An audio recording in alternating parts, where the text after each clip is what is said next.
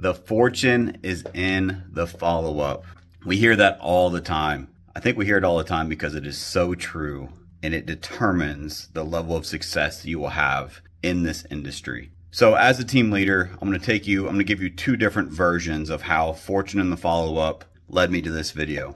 Because if you guys follow me, you know I want to give you real tactical things that are working in today's marketplace. The follow up never stopped working, but let me give you specifics on how this works. So let's first talk from an agent perspective.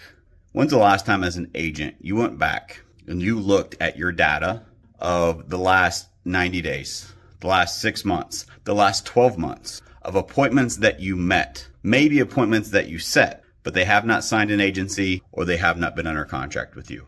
When have you audited that in your business? So go back step one, go audit that in your business. Step two, now pull up all of those people. Hopefully there's a big list of those and see the ones that aren't in a signed agreement with you. See the ones that aren't under contract, maybe the ones that aren't met. And then make sure you have a proper follow up plan with next steps inside of your CRM because I guarantee you couple of them that fell through the cracks.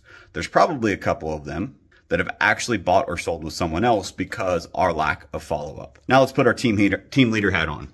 Do this for all of your agents.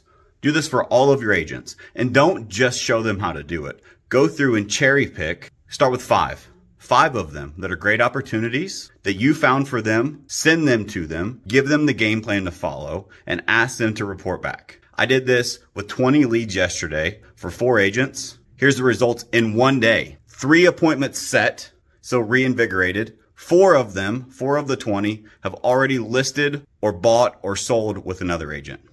Yeah, that's bad news, but also it's just a reminder of the opportunity that is there if we fill the cracks and we plug the holes that we all have in our follow up boat. Hope this helps.